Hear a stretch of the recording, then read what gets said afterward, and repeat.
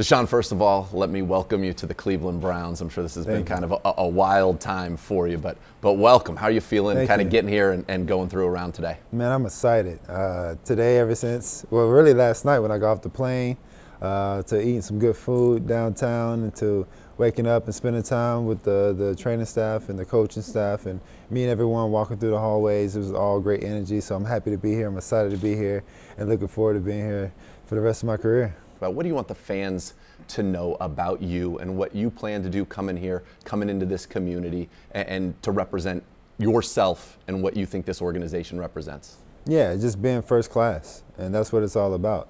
Uh, the Haslams are first class. This organization is first class. This city is first class. The fan base is first class. So you're getting a quarterback that is first class and that wants to be in a community and, and help other people, help you know this this you know family, help this organization, help this this restaurant, this store, and, and just really just be involved in everything that we do as one. And um, you know, and that's that's just what type of person I am. Um, and I've always been that person. I've been genuine, all about good energy, good vibes, and just making sure everyone has a smile on their face at the end of the day. All right, let's just talk about how this all came to be, right? You have a no trade clause. You're able to pick your destination. You decided at one point, you know, I'm doing the radio show, Browns are out. It's over. But yet here you are. Right. So the Browns were not ultimately out. How, walk us through kind of that timeline from when you made that decision. Then he said, you know what, I want to be a Cleveland Brown. Yeah, it was uh, it was an interesting timeline. Uh, basically, had a maybe five day window to kind of decide on where I want to go. Everyone in the media and outside was kind of rushing me. I didn't want to rush this decision, sure. you know. So it led to Browns being out, but necessarily they were never out. Um, me and my agent knew that, and what was the best situation for me? Ultimately, help a team win a Super Bowl and where can I continue to go into a great chemistry, a great organization, a great GM, a great head coach, and a great staff around them, and just a great fan base. And that's what I wanted ultimately, and I knew that Cleveland was the opportunity. And certainly it turned out to be that spot. I know you like talking ball, and I'm sure you've had to talk about a lot of things right. unrelated to ball. So, what was it like getting on that iPad with Kevin Stefanski and kind of going through some of those plays and him getting, as you mentioned, being honest, saying, "Okay, here's yeah. some, here's what I love, and it's a long list, but here's some things that you know we can get better at." Yeah, he was open, and it, it was it was cool because we were able to talk ball in that setting. Um, and in other meetings, we didn't necessarily do that. It was about just kind of learning about the city and the organization. But for me to actually sit down and talk ball and hear how he communicate, uh, uh, you know, his plays and what he wants to do and, and, the things that he see, you know, with me and his offense doing, it was awesome. And that just took it over the top because I knew I could connect with him and talk with him and relate with him. So you're excited about what this offense could maybe be with you at the helm? Oh, it's going to be special. For sure, it's going to be real, real special when you've won a national championship like you did in Orange at Clemson, and you mentioned earlier, one of the things you want to do is go get a Super Bowl, which is the pinnacle of this. Is that kind of when you have had that success and you've tasted being at the top of, of your, at that time, you know, where you can be? Has that fueled you? Is that something that you're like, I got to get to the top of that mountain here now in the NFL? Oh, definitely. That's the ultimate goal. That, that's the that's the one goal I want to continue to get to and then continue to repeat. Uh, we lost back in 2019, but that wasn't that wasn't enough. And so I want to be able to get that, and that's why I chose the Cleveland Browns because I knew that this team and this organization want that same hunger, and we have the talent, and we have the staff, and we have the people around, the support cast to actually do it. Speaking of that supporting cast, what's kind of stood out to you? You like, I mean, I'm sure you look at that offensive line. Yeah. Go, yes, this is great, wonderful. You got Chubb and Kareem Hunt behind you. Amari Cooper's in now, the yes, Chief. David Njoku. What do you like kind of about this roster and some of the talent? Not only probably on offense, but now you don't have to have worry about Myles Garrett coming after you anymore either. yeah, you got Myles. you got uh, Amari Cooper now, you got the whole offensive line, you got the two running backs, you have the tight ends, you got the receivers. I mean, you have the whole the whole thing that you need. And then you got the defensive side, you get the secondary linebackers, the D linemen.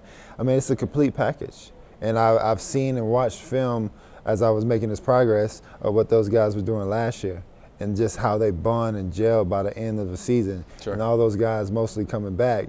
I mean, it, it, can be really, really special. So I wanted to be a part of that.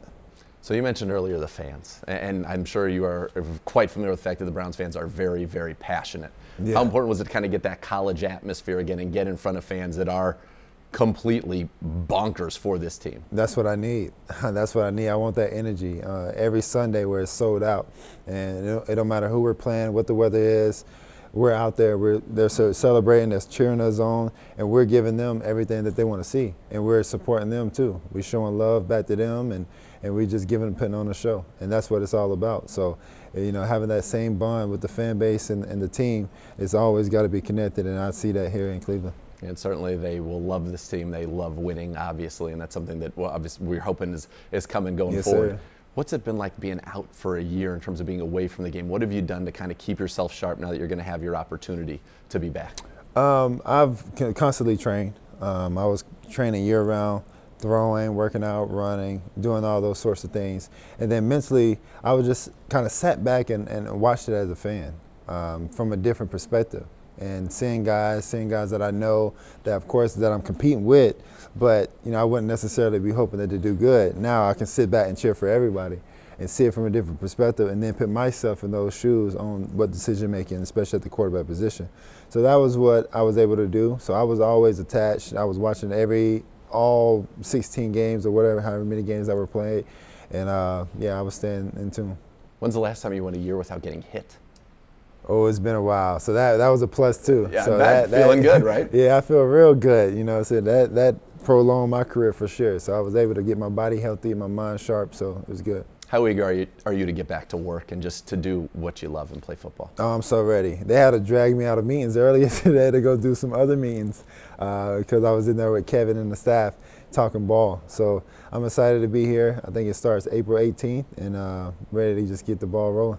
Have you gotten a chance to talk with any of your teammates? I have. Uh, they all reached reached out to me, and uh, I think I'm gonna go to dinner with a couple guys tonight. So I'm looking forward to seeing the whole team. But yeah, uh, they all reached out to me.